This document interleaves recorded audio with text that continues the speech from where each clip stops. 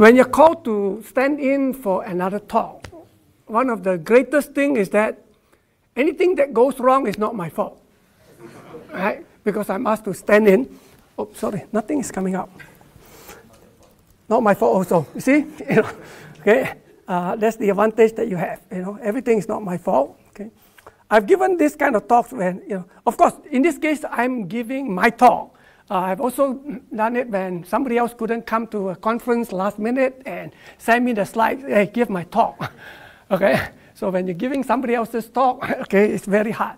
But today, you know, I'm here for PyCon, but I, I also want to, you know, show you that underneath here I have my School of Computing uh, T-shirt, you know. Okay, okay. I, I got my PyCon uh, shirt this morning, so I thought I'd put it on.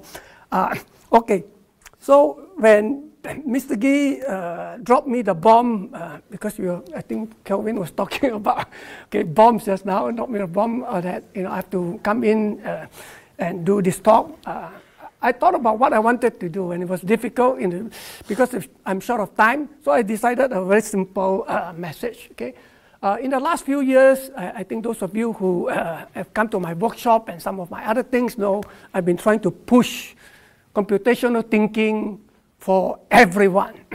Uh, I think uh, uh, the early speaker, okay the first speaker this morning will talk about this, okay, and many other teachers, okay, have been hearing this. So really, I want to push computational thinking to all. Not everybody needs to do programming. Uh, even that, I am not sure. Okay, they need to do some programming of some kind, but everybody needs to know computational thinking. Uh, of that, I am fully convinced. Okay, and you will see, you know, some of the activities that I do.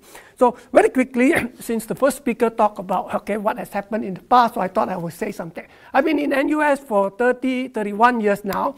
Okay, and uh, been doing outreach talks, workshop camps since okay ever since I came here okay, running competitions, uh, started NOI in Singapore, uh, IOI, okay, and uh, ACM, uh, ICPC, uh, all of these things, many of these things I've already let go. Other people are taking over, which is a good thing, uh, good succession. Okay, I've been involved with Code Extreme Apps, a 24-hour hacking competition, okay, since uh, 2007. And after, in 2008, we started running our first Singapore programming competition for primary school kids.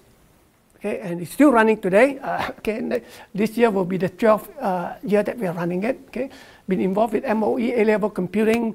Uh, I think if uh, Kelvin had some issues with the curriculum, then you should have seen the 99 curriculum uh, where I was involved with, and we made a lot of changes. Okay, uh, it was really literally okay, memorization of facts because everything was covered at such low level, you know, such simple that you, you can't go deep in any area. We covered a lot of stuff. I was amazed at how many things we talk about, okay, uh, in that A-level uh, curriculum.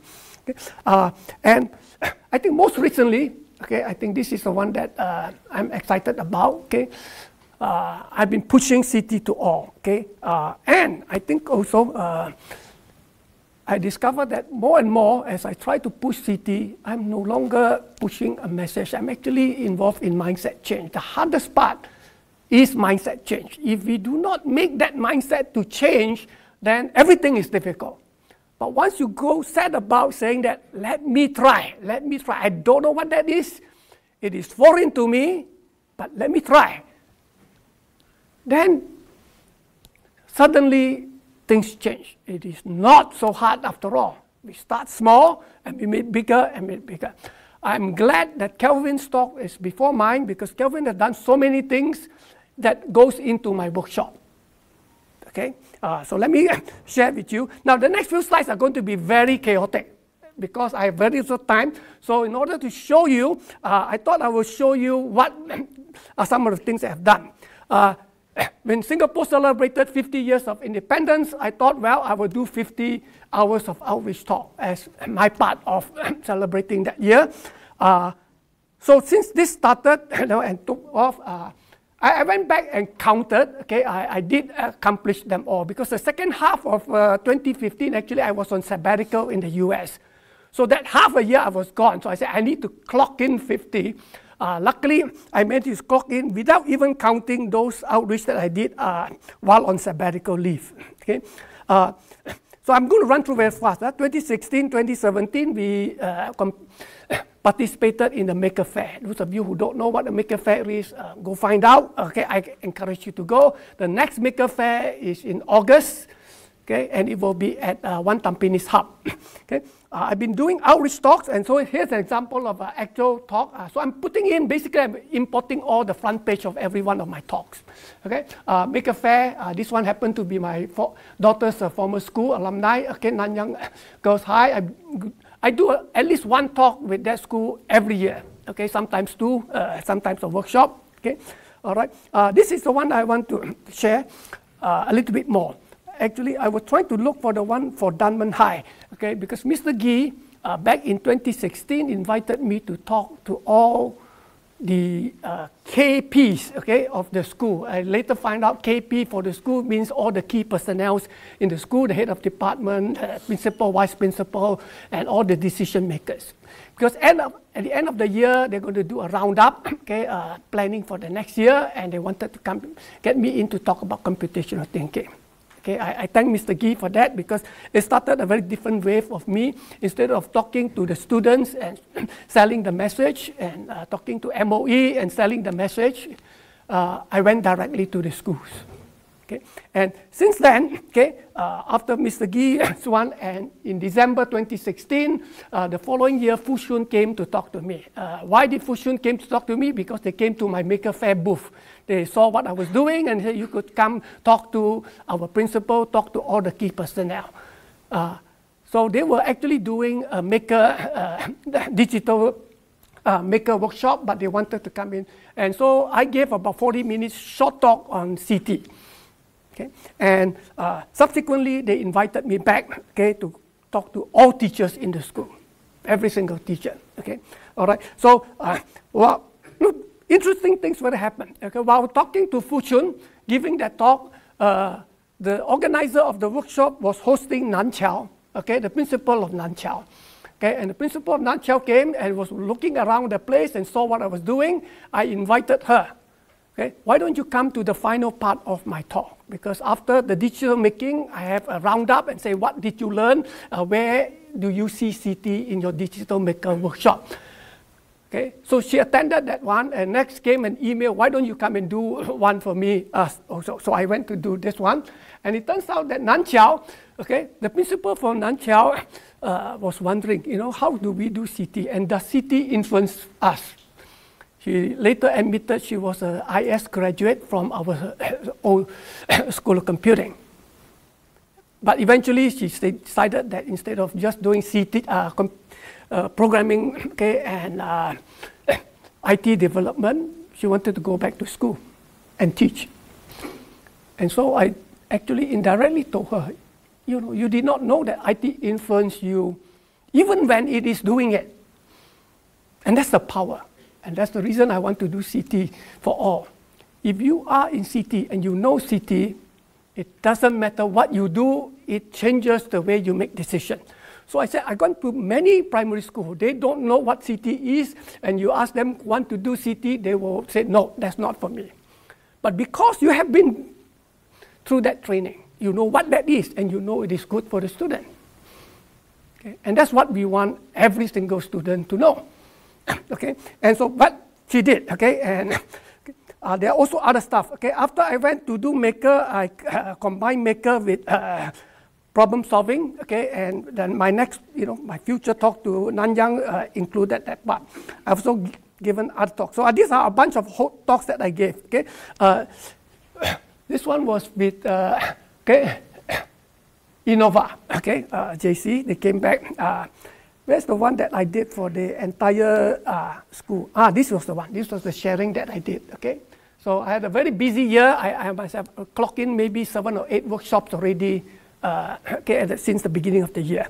Okay. Uh, but this one I like because this is a kindergarten who invited me to come and talk. And it is not just for the teachers, but it's also for the parents of the kindergarten uh, goers.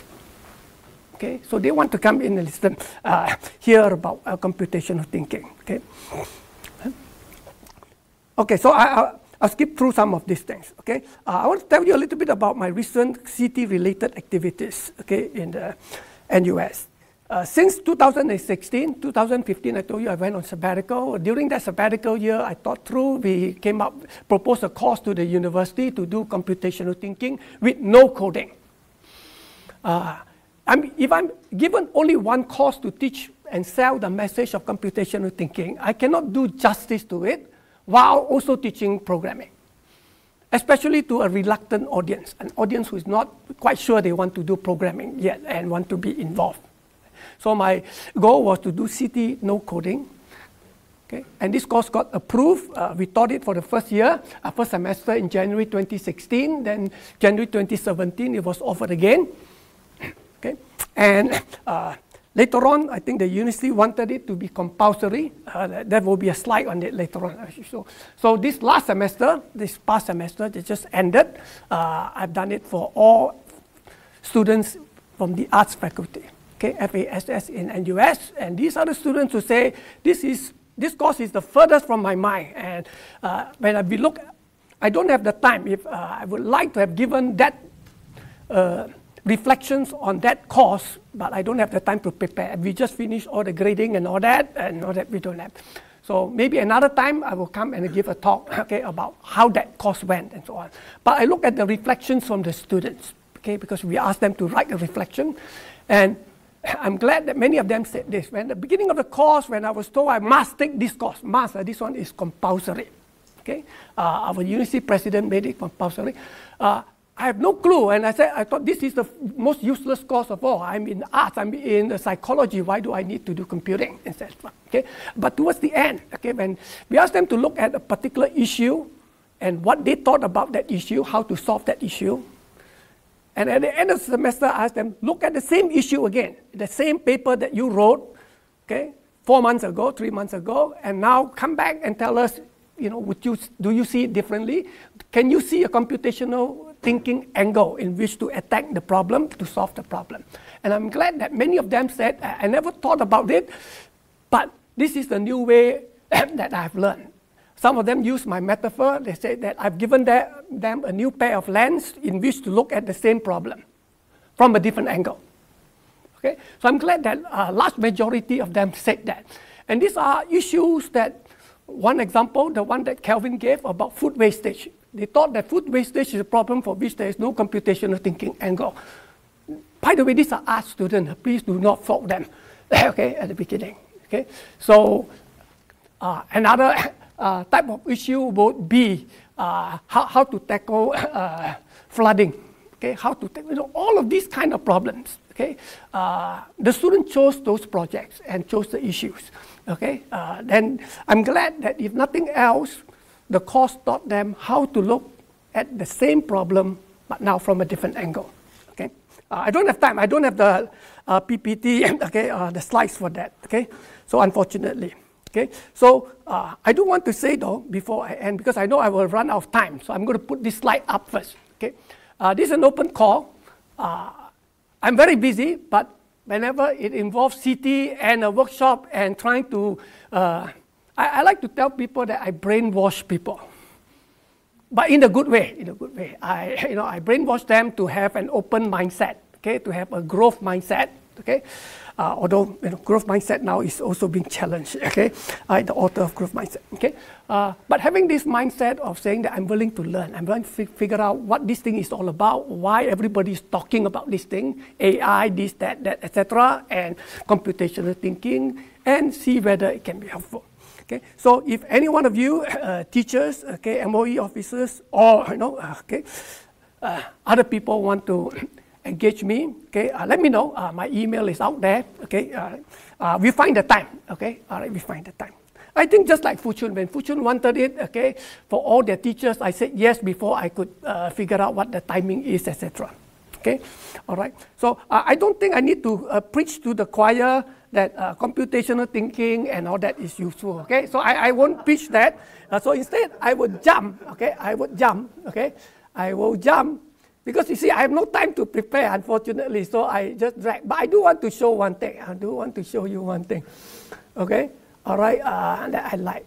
I don't know whether you've seen this one before, but if you have, uh, okay, bear with me. Okay, I, I mentioned that computational thinking uh, there are algorithms in everyday life, right? Okay, and uh, including dog training, right? You know, even dog training okay, involve algorithms, right? Step by step. You need to teach the dog very basic commands, then only very complicated commands, okay? and things like that. Uh, but even folding and origami chukapi, right? Also, right? How many of you have folded an origami chukapi? No. You don't know what a chukapi is. huh? You haven't folded an origami chukapi there? Yeah, chukapi, chukapi, right? Of course, you know, chukapi is a monkey paw, right? No. Okay, sorry, this is an inside joke I share with my daughter. We like to speak, you know, say, can you see what? What it is? Okay, I like to say the word backwards. Uh, uh, if you come across, uh, of course, if you come across uh, my students' uh, company, uh, learn to code, code to learn, then, you know, that is a natural palindrome, okay, but this one is not, okay? All right, but actually I assigned that as homework. For the students who are skeptical about what algorithms is, I assigned that as homework. For an origami, at least 30 steps. I need it to be sufficiently sophisticated so that they, and do, you cannot watch a video. You must look at the instructions on how to fold an origami. And all my colleagues okay, and other people ask me, this is crazy. What does origami have to do with computer science, if anything at all? Okay, and it turns out it does. It turns out it does. Okay, all right. Uh, by the way, this is these are you know to show you I'm not lying. These are all the best origamis that we collected. Okay, uh, in the showcase. Okay, all right. Uh, the other side are all my really cool origami friends. They invent new origamis. They don't just follow origami instruction. They invent new ways of folding. Okay, and things like that. Okay, Ken. So I'll, I'll skip that part. Okay, but origami do have and uh, share a lot of uh, commonalities with algorithm. So let me do the last part, okay, the last part that I want to share. Uh, while we do not believe that coding is for every single person, I do believe that computational thinking is for everybody. The process, the thinking process behind. Okay. Uh, by the way, the idea of computational thinking and the definition of uh, computational thinking first came out in Jeanette Wing's uh, paper in 2006. It's a very famous paper, okay, sent to the ACM. And at the time, the first iteration that came out, okay, uh, certain words were missing. One of the boxes here was missing. Okay, uh, one of the boxes here was missing. Uh, but when I proposed my course in 2016, okay, my co-instructor, uh, Professor Leow, Wee Kheng, and I firmly believe that that box must be there. So when we proposed that course, we added that part in. And that part was problem formulation, how to formulate a problem. Okay? And so after designing the course, I went back to check the, search for you know, computational thinking again. And in an updated paper by Jeanette Wing, now with a few collaborators, okay, there was a paper in which they say now, after going through many rounds of feedback and discussion with many people, they added that box right in front, in fact, right at the front. So I think, uh, I think our early uh, guesses were vindicated that, you know, so now we have problem formulation. Basically, given a very, especially for the art student, they look at a complicated issue. There are so many things to consider how do I narrow it down and formulate a problem that can then be tackled with computational thinking? Now, that skill set is missing from a lot of people. To me, that single skill set is the most important skill set. How do you narrow down a problem and say that, ah, at this point now, computational thinking can come in and help us solve the problem? And this feedback came to us, the realization that this is the correct thing to do came to us from a student feedback. In the first two rounds of giving the course, 2016, 2017. The student said, I actually am a computer science student. I've taken two years of computer science. Now, mind you, uh, please uh, do not use this example to say that our students are all bad. Okay? So in every place we have very good students and also students are not as good. Okay? So this student came to took the course. We were wondering why does he want to come and take this very introductory no coding course. But the feedback came and said, I've taken these courses. I've taken some programming courses. This is, I know a lot of things, but I'm still lost when I'm facing a real world problem. I don't know how to put the pieces in to solve the problem, to have a handle on the problem. And then the second sentence said that I realized that what I was missing is problem formulation. How do we take that very complicated problem where there are a lot of issues, nobody tells you that this is important input, that is not important, etc., and formulate a problem so that in the end we can apply those things that I learned. But then he said that once we formulated the problem, I already have all the tools to use. So what he's telling us is he have the tools, he have the capability to solve the problem, but he cannot, you know, we all say it in many different ways, but we are saying the same thing. It's very big distance from here to here. And that big distance, when it comes to a very complicated, complex real-world problem, is problem formulation.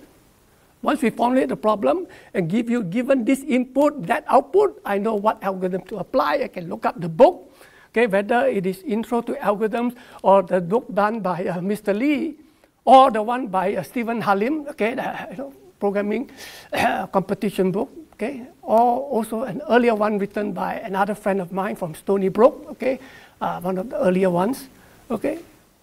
The solutions are there, but without you formulating the problem, then you do not know where to look for the right answer. Okay.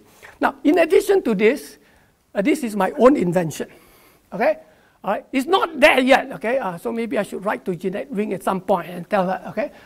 Uh, I call this, okay, I coin this items. Okay, items. And items stand for an IT enabled mindset. An IT enabled mindset. If you have an IT enabled mindset, that was the one that came into play with the primary school principal. If you have a primary IT enabled mindset, you look at an issue and you say, ah, you know, computational thinking could be used to help that. And that's what have been validated by Kelvin just now when the principal say, hey, help these guys, right? Come up with an IT related solution to this, right? What is at play? IT enabled mindset. The solution could be, in his case, a microbit. It could be some other things, right? But what you have is, if you have an IT enabled mindset, then you know how to look for that solution. Okay? Uh, so to do that means, where is my slide? Okay, the slide disappeared. Okay, now my uh, do I see it in my upcoming one? I added in a slide. Okay, sorry. Uh, I don't have that picture. Ah, yeah, yeah, it's in here. Okay, because I, I know you all know all these things uh, much better than I do already. Okay, computational thinking. Okay, where is that picture? Ah, this is the one. Okay, all right. So this is the picture. Okay, so in the future, okay, the next time Okay, if somebody have an IT-enabled mindset, you see something happening. You see something happening. You know, whatever is happening. Okay, in this case, I just chose something. We don't know what's happening out there. Uh, you should be thinking to yourself. Okay, all right. You should be thinking to yourself. Is there an algorithm hidden inside in here? Okay, should there be an algorithm hidden inside there? And should I be the one, you know, who will program the solution? Maybe an algorithm will be helpful in solving this problem. Okay? And it applies everywhere. I would want to end with one example. Okay, one example. For many years, ages and ages, libraries were run in the same way. In the same way. You borrow a book, you go to the library, you go to the shelf, you pick up a book, you bring it to the counter, you then say, I want to borrow this book. Somebody will write at the back of the book, there is a piece of paper, put a chop in there to say when it is due, say give you that book, okay, and they will record it somewhere, etc. Has been like that for ages and ages and ages, and around the world. I've been many libraries, borrow books from uh, many different places, all work about the same way. Okay, in Singapore, something interesting happened.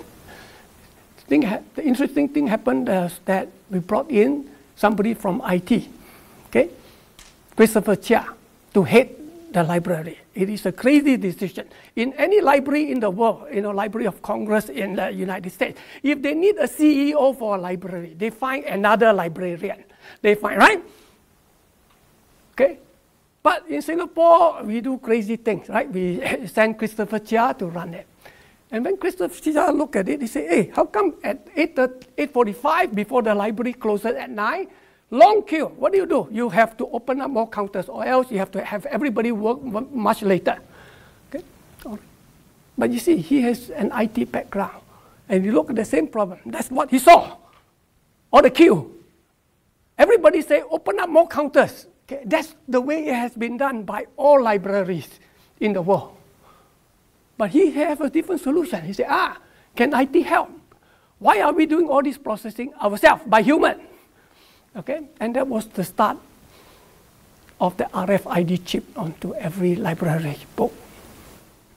We are the first in the world to have that solution. Who implemented the solution is not important. You see, the idea is the one. Why did it not happen any other place in the world? Why are we the first one? because we do not have an IT-enabled person looking at it. That different pair of lens to look at the problem and asking a different question was the key. Okay, and so I call that IT-enabled mindset. Okay, I think with that, okay, I, am sorry I did not do justice for uh, my very impromptu talk. Okay, but I hope okay I have done some mindset change. okay, all right. Thank you very much. Okay.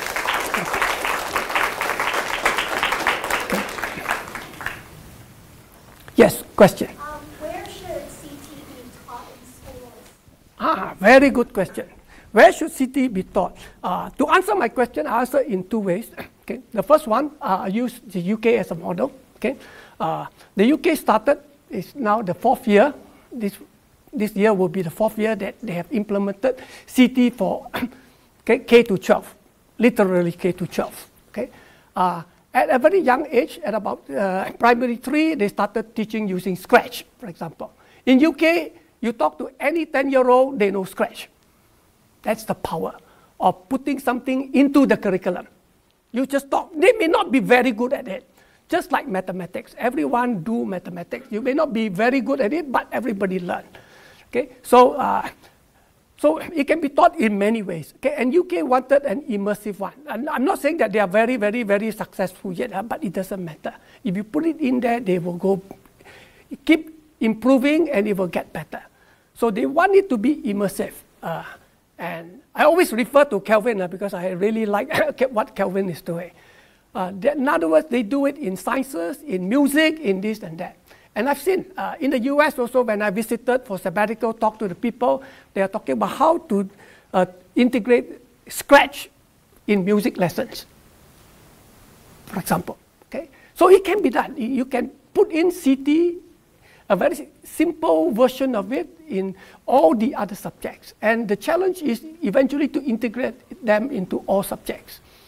When I gave my talk at Fuchun, uh, one English language teacher told me that you can apply CT to it because in reading and reading and comprehension, given a question, you need to break the question down, okay, decomposition, uh, understand the meaning of the new words, piece the meaning together, you know, decompose and re, you know, combine the meaning, go to the, para, to the paragraph that you are looking at, do the same thing and figure out where the in, important answers are and come up with that. So that's one answer from the UK perspective. But the answer is every student should know. And uh, with coding, without coding, uh, not so important. Okay. I hope I answered part of it. If not, I think we can take it up uh, separately. Yeah. Okay. Any final questions? One more question? All right. Thank you very much.